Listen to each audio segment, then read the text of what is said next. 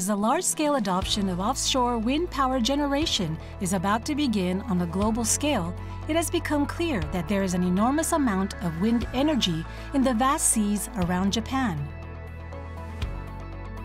In order to harness it, Power Electronics Laboratory at Tokyo Institute of Technology is working on the development of a next-generation power transmission system that utilizes direct current. 洋上風力発電を活用すると、日本全体の電力をはるかに上回る発電量を賄えるというふうにも言われています。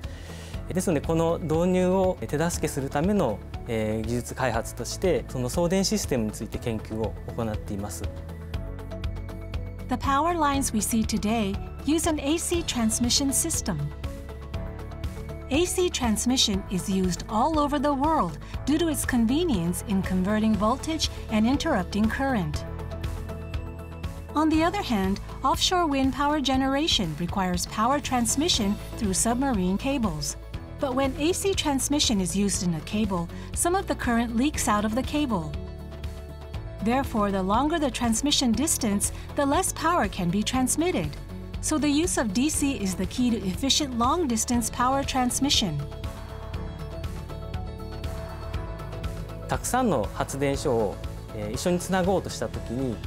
どこか一つの発電所もしくは一つの送電ケーブルで故障が起きてしまうと、まあ、全体が連鎖的に止まってしまうというようなことがあのありました。まあ、あのこうやってどこかで故障が起きるたびに、まあ、全体が停電してしまうと実用的なシステムとは言えませんので、えーとまあ、そこを解決したいと思って、えー、今研究しています。Therefore, Dr. Sano is researching control algorithms for detecting faults and switching transmission routes.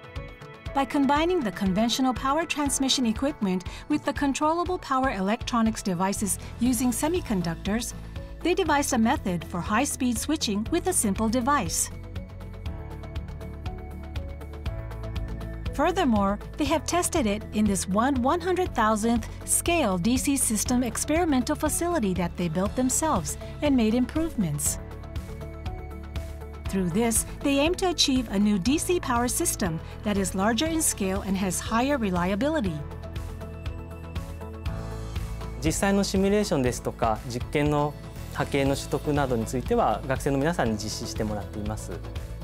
Moving forward, they aim to build next generation energy infrastructure by connecting multiple offshore wind farms with high voltage DC transmission and connecting them to onshore AC power grids, transmitting power over long distances using this system. This research will enable efficient power transmission for more distant locations suitable for power generation as well as international power trading, paving the way for the further utilization of renewable energy.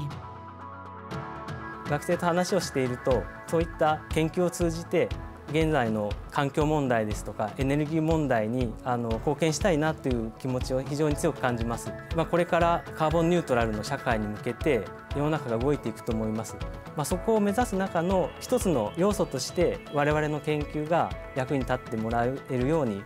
みんなでいろいろ意見を出し合いながらで、まあ、楽しく研究やりながらそれがあの世の中で役に立てばなおいいなと思いながら研究やっております。